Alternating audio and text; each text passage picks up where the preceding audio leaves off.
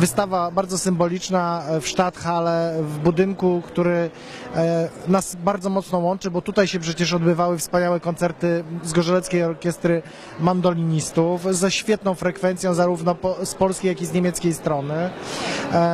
W tym budynku e, dziś jest wystawa Antoinette, artystki, której dzieła nawiązują do mitów Europy, dzieła niepokojące, dzieła wy, wy, wywołujące sporo emocji, e, ale też pokazujące, myślę, że Europa to nie jest tylko spokój, e, Europa to też miejsce, w którym sporo się wydarzyło i ciągle dzieje.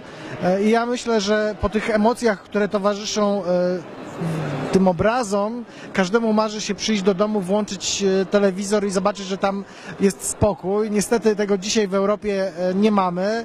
Die Stadthalle Görlitz wurde 1910 errichtet.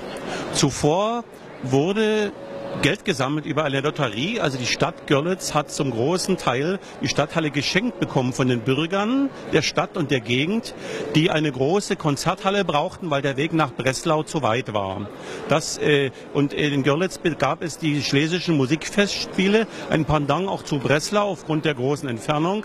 Eine sehr gute Veranstaltung und dafür brauchte man die Stadthalle. Dafür wurde sie gebaut. In der Stadthalle können auf der Bühne 300 Sänger stehen, im Saal können 2000 Menschen sitzen man hört den Solisten wirklich klar und deutlich. Sie hat ganz besondere akustische Eigenschaften und die Stadthalle Görlitz hat die weltweit einzige original erhaltene, romantisch gestimmte Konzertorgel.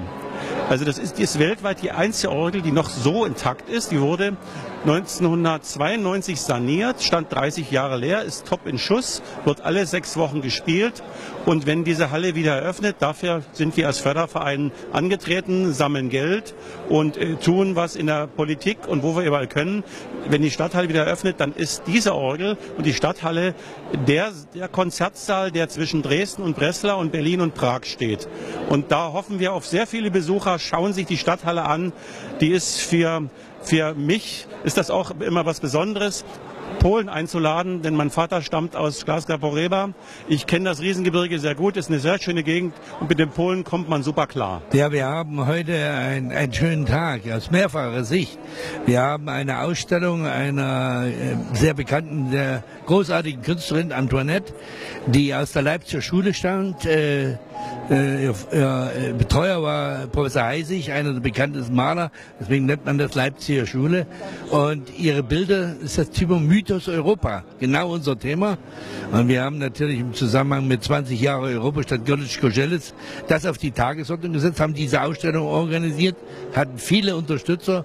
Und jetzt freuen wir uns, dass das ein Höhepunkt unseres gemeinsamen Europajahres 20 Jahre Europastadt Görlitz-Koschelitz ist. Ich finde es großartig, dass wir hier in der Stadthalle von Görlitz, die hoffentlich künftig eine Stadthalle Görlitz-Koschelitz sein wird, eine Ausstellung haben, um zu feiern, dass endlich die Mittel bereitstehen.